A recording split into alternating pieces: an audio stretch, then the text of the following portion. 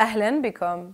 برعاية مجلس رؤساء الكنائس في الأردن وبتنظيم من مكتب فضائية نورسات الأردن أقيمت في كنيسة العذراء الناصرية للاتين في منطقة الصوفية بعمان صلاة من أجل وحدة المسيحيين.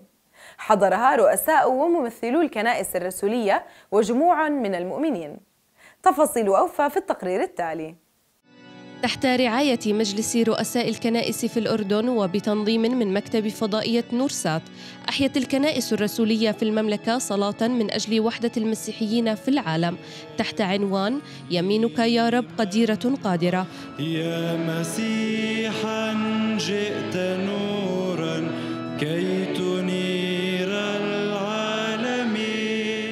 وشارك في الاحتفال الذي أقيم في كنيسة العذراء الناصرية للاتين في منطقة الصويفية بعمان.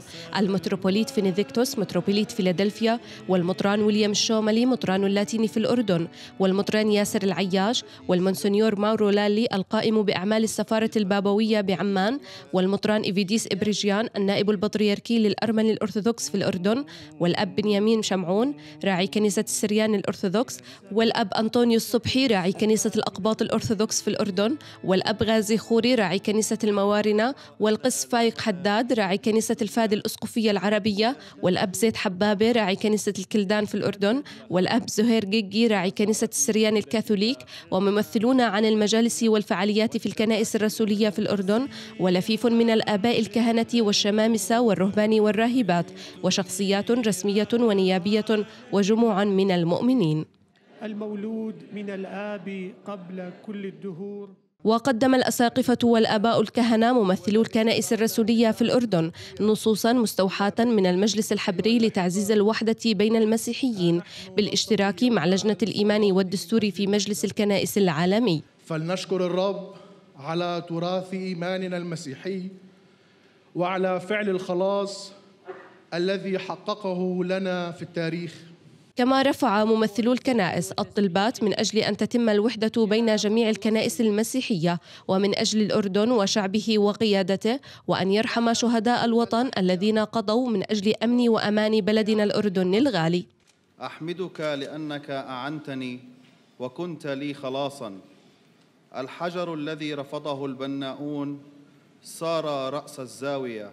وأثناء الاحتفال قام الأساقفة رؤساء الكنائس بقطع السلاسل التي ترمز إلى العبودية وفقدان الكرامة والعنصرية وقدرة الخطيئة على قطع الشركة مع الله وبعضنا مع بعض معلنين بذلك رفضهم لكل أنواع التفرقة والدعوة للوحدة المسيحية الكاملة. وفي كلمة للمطران الشوملي جاء فيها حضورنا المسيحي اليوم مرتبط بهذا التاريخ المليء بالانقسامات والمآسي والآلام. ومن الواضح أن غياب الوحدة بيننا يضعفنا ويبقى عائقا كبيرا دون الجهود الرامية إلى نفح حيوية جديدة في هذا الحضور. على الأقل اليوم في شيء إيجابي. صرنا نصلي مع بعض ونشعر بمرارة الانقسام ونطلب الوحدة من ربنا يسوع المسيح. أنا متأكد أنه نحن الآن في الطريق الصحيح وأنه الوحدة أمامنا وليست بعيدة المنال إنما كل ما صلينا أكثر كل ما اقتربت ساعة الوحدة. نعم نرسات مشروع مسكوني ويوحد المسيحيين.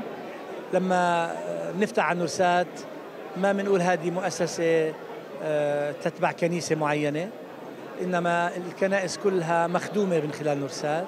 نرسات الأردن أيضا يخدم الجميع بالتساوي وهذا أحد أسباب نجاح صلاة اليوم لأنه نرسات محسوب على الجميع وليس على طرف. فأتمنى الخير لنرسات وللعاملين في هذه الفضائية. إنه تجسدت الآية اليوم اللي قال عنها السيد المسيح بهذا يعرف الكل أنكم تلاميذي إن كان لكم حب تجاه بعضكم البعض. فالحب هي ظاهر اليوم مختلف كنائس الأردن آه، موجودة بالرعاة تبعونها بمن يمثلهم بشعب كل كنيسة جاي. آه، قناة آه، نور سات هي آه، الكنيسة التي تدخل كل بيت. أعتقد أن كل شخص لم تت- تتاح له الفرصة أن يكون متواجد معنا اليوم. أعتقد إنه لما هيشوف على شاشة نور سات هذا اللقاء المفعم بالمحبة اللي قال عنها السيد المسيح في الكتاب. أعتقد أنه راح يتشجعوا والكل يصلي من أجل وحدة آه، الكنيسة. وبما أنه يسوع المسيح هو اللي بيوحدنا وبنتناول جسده وبنشرب دمه فلازم آه، نتحد فيه واتحادنا فيه بخلينا نتحد ببعضنا البعض. وإن شاء الله إنه يسوع المسيح وصلاة الوحدة ما تكون كلام. ولكن آه، تنشغل من القلب والمسيحي اللي بيعتمد المحبة والحوار وقبول الآخر بيقدر يوصل للوحدة. وإذا قدم ذاته مثل يسوع المسيح ما بيقدر إلا ما يتوحد مع خيه ويكون آه، شريك مع خيه آه، برسالة يسوع المسيح. وفي كلمة شكر للدكتورة باسمة السمعان مديرة مكتب فضائية نورسات في الأردن قالت فيها إن اجتماعنا اليوم للسنة السابعة ما هو إلا تجسيد لجهود المحبة للكنيسة الواحدة الجامعة المقدسة. ففي هذا اللقاء الودي الأخوي جسدنا جميعا كلام السيد المسيح حين قال أنتم نور العالم فاجتماعنا هنا اليوم للسنة السابعة ما هو إلا تجسيد لجهود المحبة للكنيسة الواحدة الجامعة المقدسة. ففي هذا اللقاء الودي الأخوي جسدنا جميعا كلام السيد المسيح حين قال أنتم نور العالم ونحن سنقول لرب المجد بكلامك يا رب سيضيء نورنا للعالم وسنكون ذلك الملح الصالح الذي أردت. ولنصلي بوحدة واحدة من أجل جميع المؤمنين الذين يؤمنون بإله واحد ضابط الكل لكي نتمكن من عيش الشركة الأخوية على مثال جماعة أورشليم الأولى وأن نشهد للوحدة التي يريدها الله وأن نكون بصدق حاملي البشرة السارة للعالم في ظل كل التحديات التي تعصف بشرقنا. ونحن نعاهد الوطن أن نبقى الأوفياء الذين يعملون دوما من أجل الوحدة الوطنية ليبقى الأردن نموذجا يحتذى به في الوحدة والتآخي والوئام. وسلام المسيح الذي يفوق كل عقل يحفظ قلوبكم جميعا.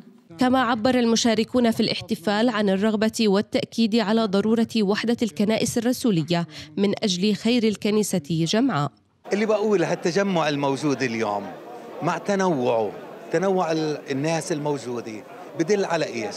بدل على رغبة صادقة من قبل جميع المؤمنين على على تحقيق رغبة السيد المسيح ليكونوا واحدا. مفروض فينا نكون جسد واحد قلب واحد نفس واحدة حتى نحقق رغبة السيد المسيح ليكونوا واحدا. يا أبتي كما أنا وأنت واحد. هي هي أمنيتنا.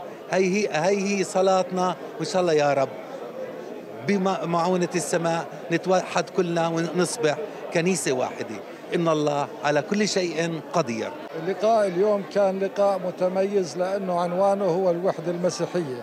والوحدة هي عنوان لروح المحبة وروح التآخي.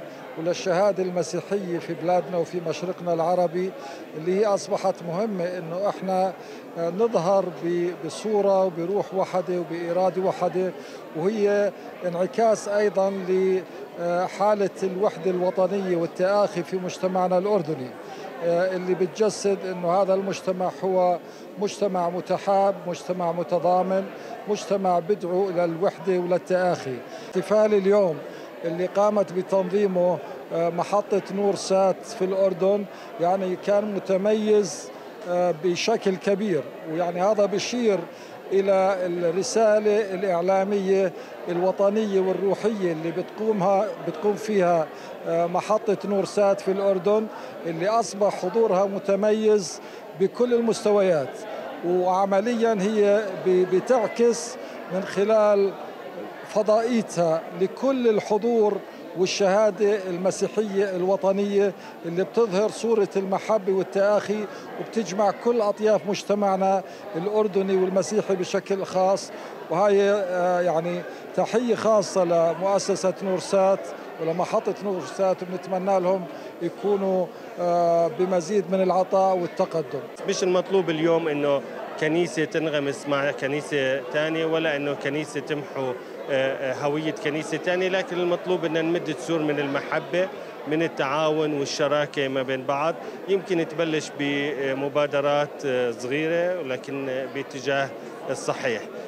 أنا برجع بأكد على بصراحة قداسة البابا فرانسيس اللي أرسل مبادرة. يمكن تبين ببدايتها مبادرة بسيطة لكن لها مغزى كبير وهو توحيد الأعياد في كل العالم. وأنا بدي أشجع كمان العلمانيين. إن نخرج من إطار الطائفية التعصبية ونخلي طائفيتنا فيها غنى للتبادل مع بعض نعمل تشاركية مع بعض الكشافة الشبيبة الأخويات إحنا إلنا دور العلمانيين بصراحة بأن نبلش نشجع بنحو هذا الاتجاه تشجيع إيجابي لرؤسائنا اللي بنقدرهم واللي بنحترمهم. وشاركت في إحياء الاحتفالية التي أدارها قدس الأب وسام منصور عدة جوقات من الكنائس الرسولية والمرنم فارس عباسي حيث قدمت خلالها عدد من الترانيم الشجية مصلين فيها من أجل الوحدة والسلام بالإضافة لمشاركة فرق كشفية وموسيقية ساهمت في تنظيم الاحتفال. صلوا من أجلنا يا أصحاب السيادة لكي تبقى نورسات حاضرة في كنائسنا. وفي كل بيت مسيحي في منطقة الشرق الأوسط والعالم.